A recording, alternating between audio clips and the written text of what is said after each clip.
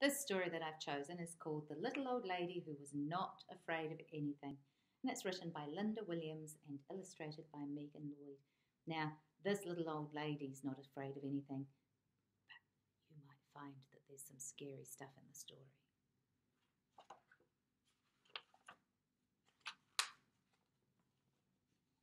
Once upon a time, there was a little old lady who was not afraid of anything.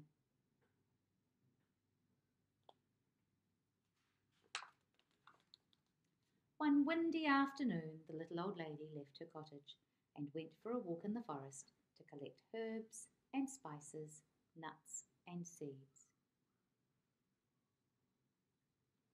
She walked so long and so far that it started to get dark. There was only a sliver of moon shining through the night.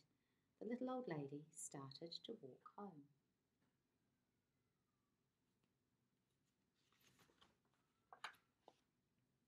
Suddenly she stopped. Right in the middle of the path were two big shoes, and the shoes went clomp, clomp.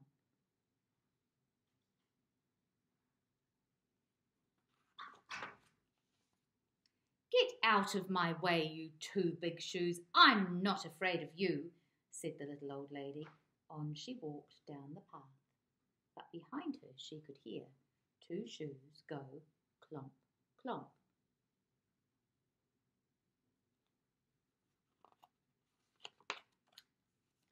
A little farther down the road, the little old lady stumbled into a pair of pants, and the pants went wiggle wiggle. Get out of my way, you pair of pants. I'm not afraid of you, said the little old lady, and she walked on. But behind her she could hear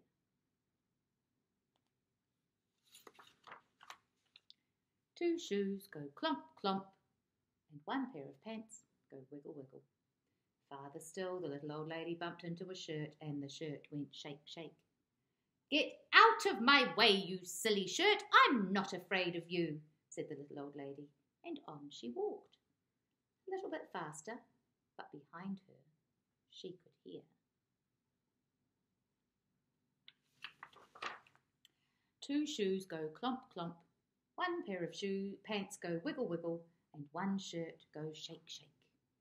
A little ways on, the little old lady came upon two white gloves and a tall black hat, and the gloves went clap clap, and the hat went nod nod.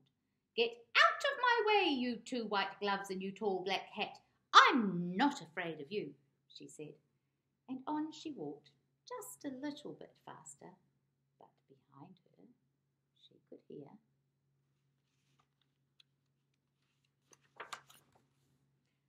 Two shoes go clump, clump. One pair of pants go wiggle, wiggle. One shirt go shake, shake.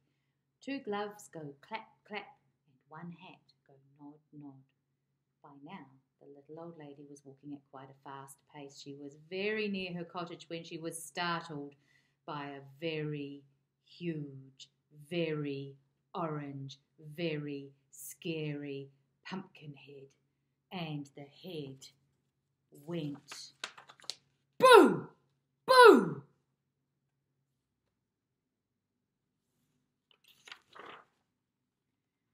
This time the little old lady did not stop to talk. She did not stop at all. She ran! But behind her she could hear two shoes go clomp, clomp, one pair of pants go wiggle, wiggle, one shirt go shake, shake, two gloves go clap, clap, one hat go nod, nod, and one scary pumpkin head go boo! Boo! The little old lady did not look back. She ran as fast as she could and didn't stop to catch her breath until she was safe inside her cottage with the door locked. She sat in her chair by the fire and she rocked and she rocked. It was so quiet in her cottage before the knock knock on the door. Should she answer it? Well, she was not afraid of anything, so she went to the door and opened it. What do you think?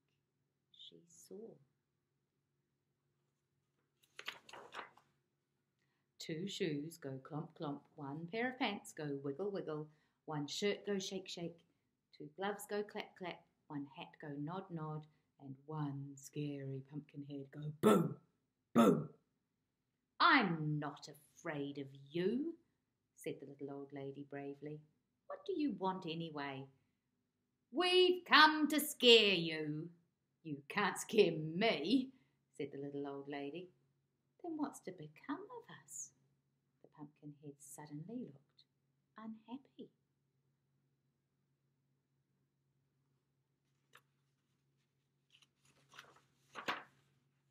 I have an idea, said the little old lady. She whispered into the pumpkin's ear. The pumpkin head nodded, its face seemed to brighten. The little old lady said, Good night, closed the door, and whistled her way to bed.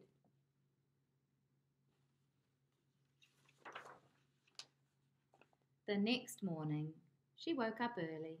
She went to her window and looked out into her garden, and what do you think she saw? Two shoes go clomp clomp, one pair of pants go wiggle wiggle, one shirt go shake shake, two gloves go clap clap, one hat go nod nod, and one scary pumpkin head go boo boo. And scare all the crows away. Wasn't scary after all, was it? Thanks for listening.